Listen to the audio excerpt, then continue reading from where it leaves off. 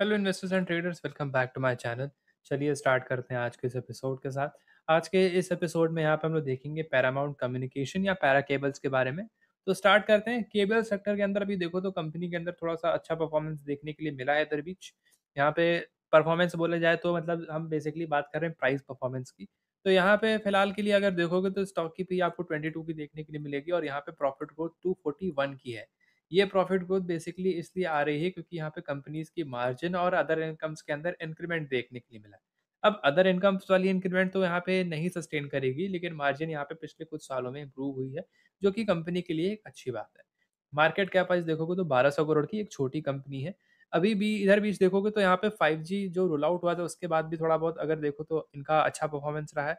साथ ही साथ यहाँ पे कनेक्टिविटी भी इंपॉर्टेंट है तो कनेक्टिविटी के इंपॉर्टेंस को समझते हुए भी हमें लगता है कि कंपनी यहाँ पे एक्सपैंड कर रही है। क्योंकि बिना कम्युनिकेशन और बिना कनेक्टिविटी के आज कोई भी चीज़ पॉसिबल नहीं है। तो फ़िलहाल अभी देखो मतलब एक लिमिट है, अभी वो इंडिया लिमिट अभी पहुँची नहीं है, वो लिमिट बहुत दूर है जब तक कि मैक्सिमाइज करेगी इंडस्ट्री तो अभी एक छोटी ग्रोथ पे है, अभी और ज़्यादा ग्रोथ मिलेगी यहाँ पे over a period of time but अभी के लिए देखा जाए बाइंग करनी है कि नहीं वो अभी हम लोग वीडियो के एंड तक डिसाइड कर लेंगे। डेट्स और यहाँ पे बात की जाए डेट्स और रिज़र्व की तो डेट कंपनी कम में रिज़र्व ज़्यादा है। क्वार्टरली रिज़ल्ट पे देखोगे तो क्वार्टर एंड क्वार्टर काफ़ी समय से इंप्रूवमेंट आ रहा है। यहाँ पे इनफैक्ट अगर देखा जाए तो पिछले एक साल के अंदर लगातार सेल्स बढ़ी है। फ़िलहाल देखोगे तो 2022 के बाद से थोड़ा-सा फ्लैटिश रहा है यहाँ पे और यहाँ पे ऑलमोस्ट कह सकते हो कि सारे बार यहाँ पे मार्जिन सेम ही रही है। लेकिन एक चीज़ आप लोग यहाँ पे ध्यान देना, वो यहाँ पे ये है कि कंपनी की मार्जिन सिंगल डिजिट में है। 5%, 7% और 4% जब ऐसे मार्जिन रहती है, तो 1% भी मार्जिन बढ़ना एक बड़ा फिगर में चेंज ला सकता है। अब जैसे कि चार से आठ हुआ, तो यहाँ पे 100% की इंक्रीमेंट हो गई अचानक से और यहाँ पे 5 से आठ हुआ, तो वो भी एक बड़ी इंक्रीमेंट है और ये साफ-साफ आपको नज़र आएगी सिंपली यहाँ पे नेट प्रॉफिट के अंदर। अब यहाँ पे फ़िलहाल और नीचे आओगे तो यहाँ पे देखने के लिए मिला कि कंपनी एक समय पे लगातार लॉस कर रही थी। लॉस करने के बाद यहाँ पे देखोगे मार्जिन कंपनी की नेगेटिव थी। लेकिन 2019 के बाद से ये सारी चीज़ें इंप्रूव हुई, इनकी मार्जिन इंप्रूव हुई है। तो इसी वजह से यहाँ पे कंपनी अच्छा रिज़ल्ट लाके पोस्ट कर रही है। ट्रेलिंग 12 मंथ में देखो तो यहाँ पे सेल्स को बीट कर चुकी है 2023 के। नेट प्रॉफिट को बीच कर बीट कर चुकी है 2023 के। अब यहाँ पे शेयर होल्डिंग पैटर्न की बात की जाए तो प्रमोटर्स की होल्डिंग बढ़ी है, ये एक पॉजिटिव है कंपनी के लिए। पब्लिक की होल्डिंग कम हुई है, ये भी एक पॉजिटिव है।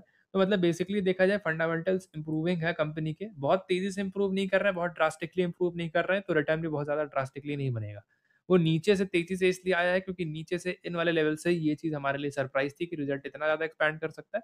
इसलिए यहाँ पे इधर बीच देखोगे तो तेज़ी से एक्सपेंशन देखने के लिए मिला है खास करके 2019, 20 और 21 के बाद से। अभी फ़िलहाल देखोगे तो यहाँ पे एक गैप अप खुला देखने के लिए मिला है। गैप अप के बाद यहाँ पे कंपनी ऑल टाइम हाई के आसपास ऑलमोस्ट आ चुकी है। ऑल टाइम हाई ब्रेक करने के बाद कंपनी 20-25 परसेंट तो ईजिली मूव कर देती है तो वहाँ पे अगर आपको ट्रेड लेनी तो ले सकते हो। बस एक चीज़ यहाँ पे आपको फॉलो करनी पड़ेगी, कंपनी सर्किट्स में चलती है, यहाँ पे मतलब अच्छी खासी वॉल्यूम आने के बाद भी कंपनी उसमें चल रही है सर्किट्स में। तो थोड़ा सा यहाँ पे आप लोग अगर देखो तो डाउन साइड भी तेज़ी से ही देखने के लिए मिलेगा। दूसरी चीज़ यहाँ पे चार्ट बहुत ज़्यादा पॉजिटिव नहीं है, चार्ट्स के अंदर देखोगे तो यहाँ पे ये रेड वॉल्यूम बहुत बड़ी बनी है तो मतलब इसका मतलब सेलिंग अच्छी खासी हुई थी यहाँ पे। यहाँ पे ऑफलोड की गई है पोजिशन, जो भी किया ये नहीं बताया जा सकता। वो तो मतलब थोड़ा-सा लेट में पता चलता है और सारी क्वांटिटी एक साल में डिस्क्लोज़ भी नहीं होती है। तो फ़िलहाल अभी देखा जाए तो ऑल टाइम हाई को ब्रेक करने के बाद स्विंग ट्रेड पर्पज़ से यहाँ पे आप ट्रेड कर सकते हो। बहुत लंबे समय के लिए कंपनी में स्टिक करने की ज़रूरत नहीं है। यहाँ पे और सारी कंपनीज़ भी आपके साथ हमने डिस्कस की थी केबल सेक्टर के अंदर जो कि इससे अच्छा परफ़ॉर्म कर रही है तो वो आप लोग चेक कर सकते हो जाके वीडियो सेक्शन के अंदर। तो फ़िलहाल अभी देखा जाए तो फ्रेश पोजीशन आप लोग को तब बनाना है जब यहाँ से ऑल टाइम हाई को ब्रेक कर देगा। ऑल टाइम हाई यहाँ पे वीकली पे आप लोग देख सकते हो। वीकली पे यहाँ पे आओगे तो एक मिनट मंथली कर लेते हैं चार्ट। वीकली पे भी बड़ा पड़ रहा है क्योंकि तो बेसिकली यहाँ पे देखा जाए इन वाले लेवल्स 57 के ऊपर आप लोग यहाँ पे बाइंग कर सकते हो। यहाँ पे आपको करना क्या है 20-25 परसेंट तक का टारगेट लेके यहाँ से निकल लेना है। तो अभी फ़िलहाल इसी के साथ चलेंगे, मिलेंगे अगले वीडियो में। वीडियो अच्छी लगी तो लाइक, शेयर, सब्सक्राइब सब कर लेना। द लाइक नोटिफिकेशन बटन ज़रूर दबाना और अपना कैपिटल सेफ़ रखना। Okay bye.